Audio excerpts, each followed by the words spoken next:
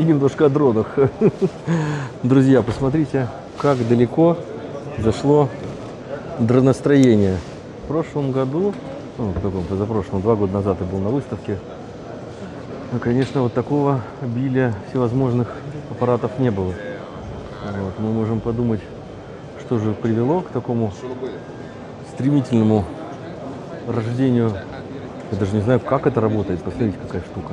Как она летит. А, ну, как вертолет. Него хвостовой винт. Такая маленькая стремительная хрень.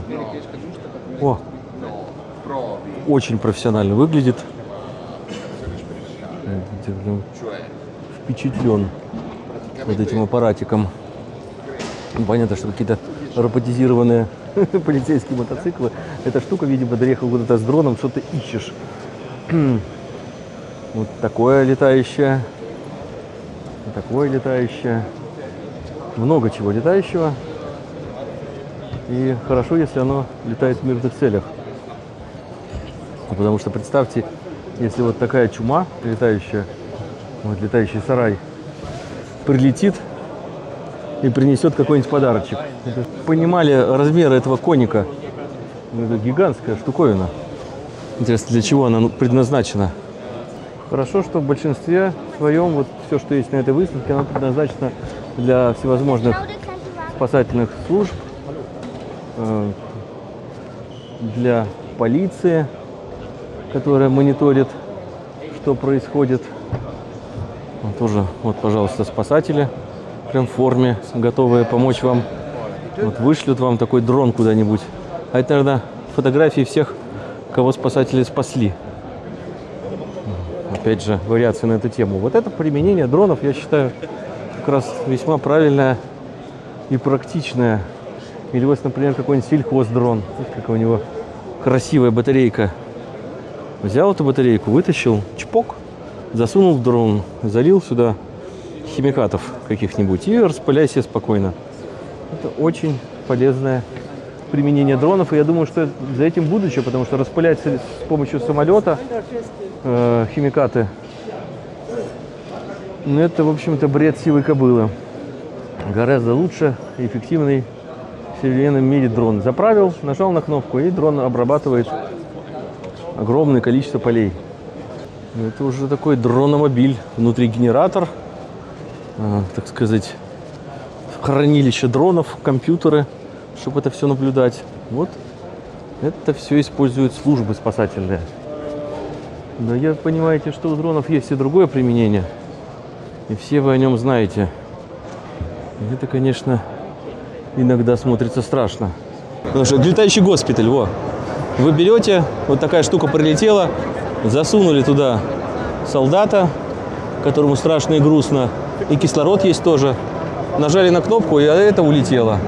Дроны достаточно жестко регулируются сейчас в Европе.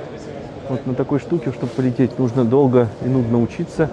Вот на такой штуке, чтобы полететь, учиться меньше нужно, но тоже нужно.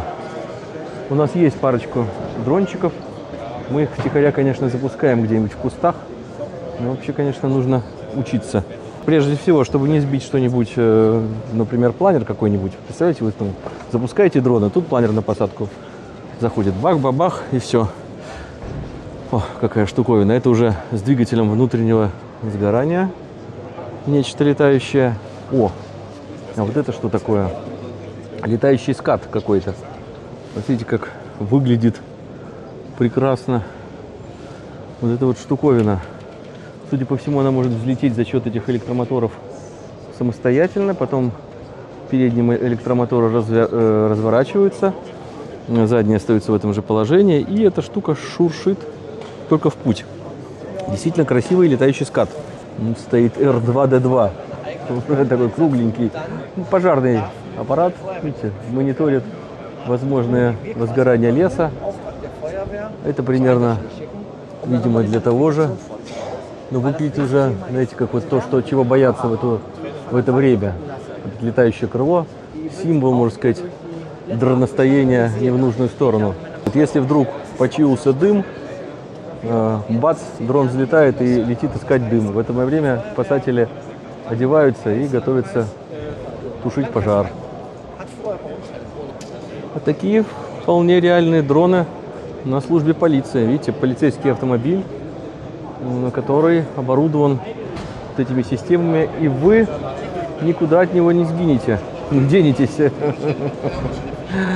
Поймает, найдет, скрутит, накажет.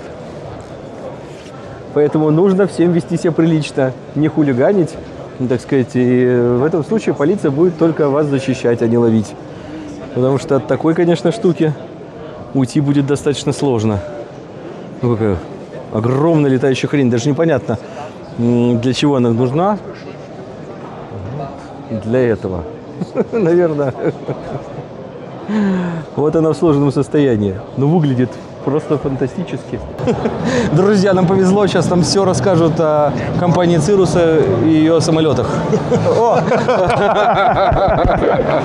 Я с тобой фотографию забыл сделать. Не буду я рассказывать, расскажет Владимир Васильев. Ты расскажешь? Не, вы вместе. Расскажи, потому что я все время... Ты же на этой штуке летал? Летал, Ну и как? офигеть. Офигеть? Если у вас есть 3, почти 4 миллиона долларов, это прекрасная, прекрасный повод их потратить. Всего лишь 3-4. Ну, ну 3-4, где-то так. Если валяются, да, да. Да, это прекрасный повод, вы будете получать огромное удовольствие.